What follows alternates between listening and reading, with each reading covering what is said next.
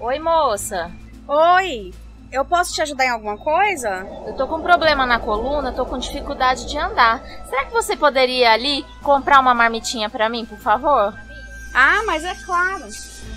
Com certeza. Obrigada, viu? Só um minutinho eu já volto, tá? Aqui está a sua marmita. Muito obrigada, viu? Por nada. Oi, oi, moça. Só um minutinho de novo, por favor. Sim.